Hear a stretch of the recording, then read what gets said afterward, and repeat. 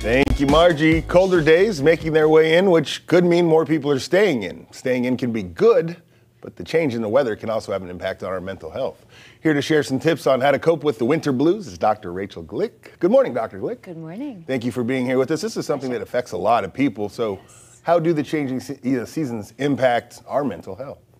For a lot of people notice more milder symptoms of feeling a little more lethargic, a little less motivated, desire to eat carbs, kind of want to isolate, um, and a little hard getting going. But for some, it can get more, more closer to a major depressive disorder where they really start feeling irritability, low mood, low self-esteem, despair. And so for that, there's more, more intervention that might need to be. How many people does this affect?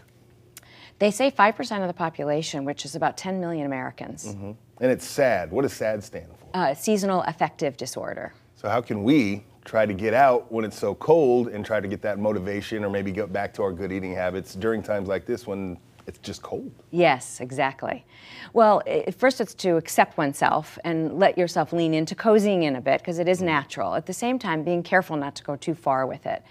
And Phil, Phil Stutz has a wonderful life force pyramid that I like. And it starts with the body at the bottom of the pyramid. And when we start with taking care of our body, 85% of our well being starts to um, kind of unfold. Everything falls into place after that. So that's just going, getting to the basics, making sure your sleep and your nutrition and you're moving your body. And I like it, uh, to encourage people to get outside. And we know this, but it can be really hard to actually prioritize getting back to the basics. The basics, you mentioned the body, the mental health being taken care of. Even though it's so cold outside, is it a good idea to bundle up maybe and go for a 10 minute walk? Just get yourself moving around so you're not just secluded to that one area?